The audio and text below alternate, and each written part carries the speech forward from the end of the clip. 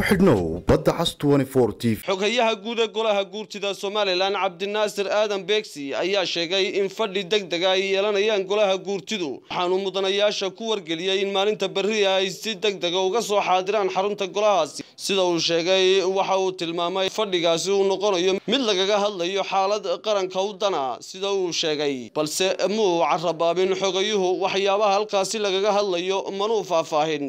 Hadalladiisii ayaa waxay u dhignaayeen mudanayaal annagoo ogsoon hawsha baaxadda leh iyo shaqada aad qaranka u haysaan. Waxaan idin ogeysiinaynaa in la isugu iman doono berri oo axada bishuna tahay afar iyo labaatanka bisha koob iyo tobnaad labada kun iyo sagaaliyo tobanka.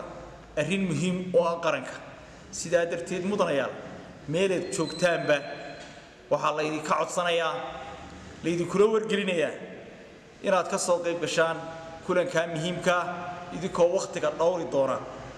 Kulankaasoo ku qabsoomaya xarinta guurtida berri oo axada haddii ilaahay dhaa dhanka kale madaxweynaha somalilan ayaa dhowaan u soo gudbiyey warqad uu ku dalbanayo in muddada loo kordhiyo golaha wakiilada kuwaasi oo noqonaysa in markii lixaad muddo kordhin loo sameeyo waxaana taasi golaha guurtidu ay u saareen guddi. Guddidaasi oo ilaa iyo haatan laga dhursugayo waxa ay soo saarto waxaana la filayaa in fadhigan deg dega uu noqonayo mid muddo kordhin loogu samaynayo golaha wakiilada walow aanay ilaa iyo haatan guddida loo magacaabay muddo kordhinta inay ka soo tala bixiyaan aanay sidii dhaqanku ahaa aanay la kulmin. Xisbiyada mucaaridka ee somalilan balse ay kulan hoose la qaateen wasiirka arrimaha gudaha. Waxaanay tallaabadani haddii ay horgasho u muuqataa midaan lagala tashan asxaabta siyaasadda ee dalka.